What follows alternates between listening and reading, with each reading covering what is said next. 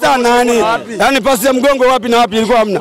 Sikiliza nikwambie ndugu yangu, yani hapa tulipo hapa, si tukiingia hapa lazima toke na pointi kibao tu, umeona? Yani hizo pasi kama za kule Ulaya, yani hata ukiangalia hata chini huko mwenyewe naweza, yani huko kama kawaida yani. Kiswahili wallahi kinamchanganya, lakini kwa utamu wa Simba wallahi inafurahisha wallahi. Inaambia kule Omani kwetu kunasema vipi? Man tala haramu lakini tamu. Yaani hicho hiyo ina maana unachokipata kwa haramu lakini ni kitamu. Haujaelewa wallahi. Yaani hiyo maana yake Simba inachofanya hapo kwanza na taifa. Wallahi ladhimu ina yani nafurahisha mpaka nyoyo wallahi.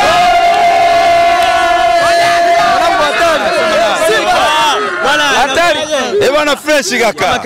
Kae fresh kaka. Unawezaje ushinda leo? Eh bwana leo kama kawaida isipokuwa mimi ombi langu moja tu kupitia rafiki zangu fulani hivi wa Kurasini veterani. Waziri wa michezo kama vipi huyu Moso na aje kuwa raia wa Tanzania. Kaka mimi tangu naanza kuangalia mpira, tangu nianze kujua Simba sijawahi kuona pasi ya mgongo staili hiyo. Kaka lile balaa. Kaka lile ba yani, ukisikia burudani ndio. yani Simba sasa hivi tunanenepa, hamna mtu mwembamba.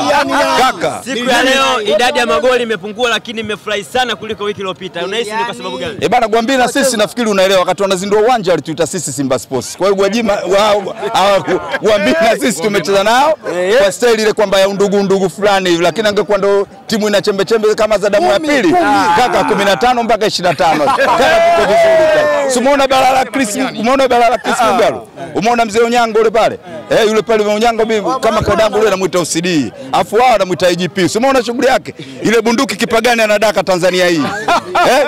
Nani anadaka? Ile Hakuna Kaka ukisikia wazee sugu ndo wale. Kuna kijana mwenye nguvu za miguu kama vile. Labda ndemla uzili kaka. Eh, sisi Simba blaza. Burudani burudani. Mambo mambo bull bull